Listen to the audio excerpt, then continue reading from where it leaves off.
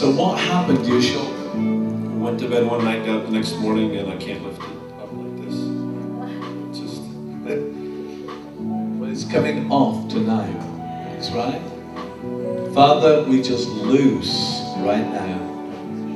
Right all the way up. Just begin to stretch it up right now. Stretch it right up. And the other one. Just go up in the name of Jesus. Up, up, up, up, up, up. In the name of Jesus. That's right. All of that looseness. All of the stiffness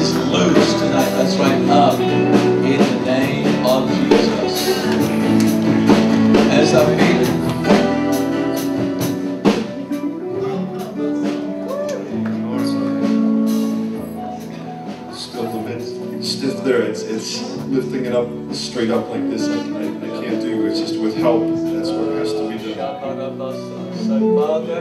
We just say strengthen right now. Strengthen in the name. Oh, there's the heat on there right now. Feel that? Feel that there? Father, just cause. Try to put it down and lift it straight up.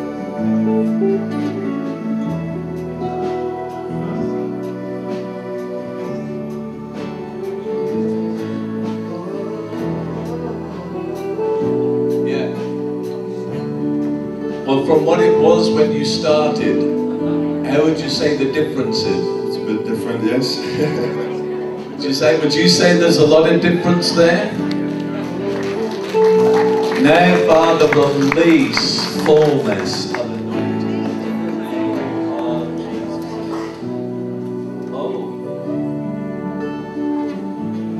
Yeah, I just see God putting an anointing on this hand right now.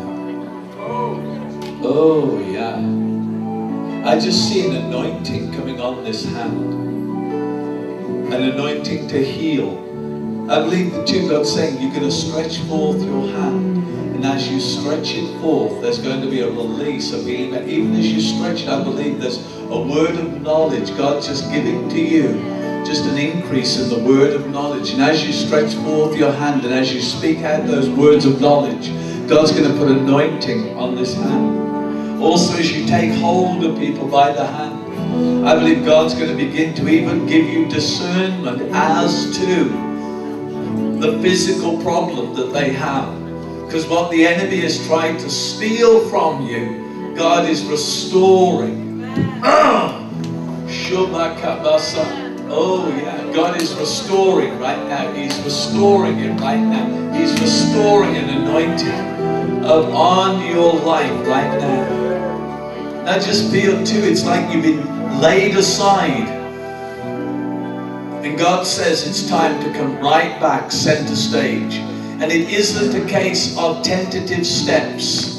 God says, I'm taking you tonight and putting you right into center stage because there's a new anointing coming upon you, and the anointing is going to make room for you. There it is. Oh, Shabbat Going to ask him in a moment what's been happening when I was sensing that, whether you've been in ministry, I don't know, but I was sensing that you'd been involved in ministry. And um, it was like you were taken out from ministry. And I don't even see it was you, it wasn't that you fell or anything like that. It's nothing to do with sin, but it was just like you just began to be moved out from that place. Would that be Yeah. And you've been asking God, God, when am I going to begin to move back into? Yeah. And it's not tentative steps. Because I believe tonight God has put an anointing where the enemy cut in on you. And like you say, you went to bed one night and you woke up in the morning and something was wrong. And I believe the enemy just came in on that. And now God's put an anointing upon you. I, I, believe it's like the anointing. You need to read of a person called Howell Harris. He was a Welsh revivalist.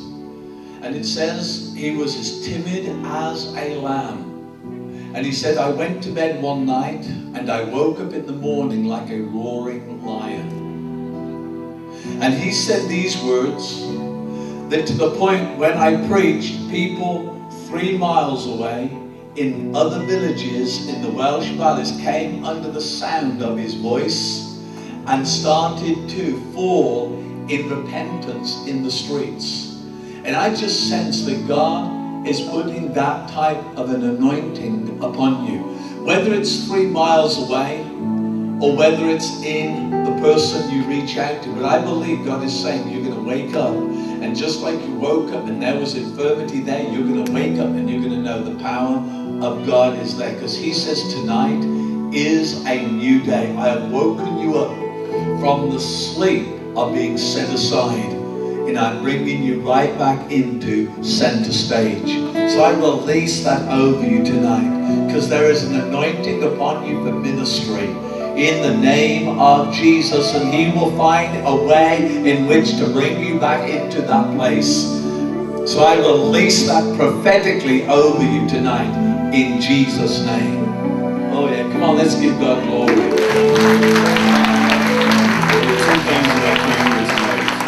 One, to hear a word from Him. And the second was about the shoulder, but one was proof of the other. Because I'm tired of hearing from men, and I, I need to hear from Jesus Himself. So, and that was what I came tonight.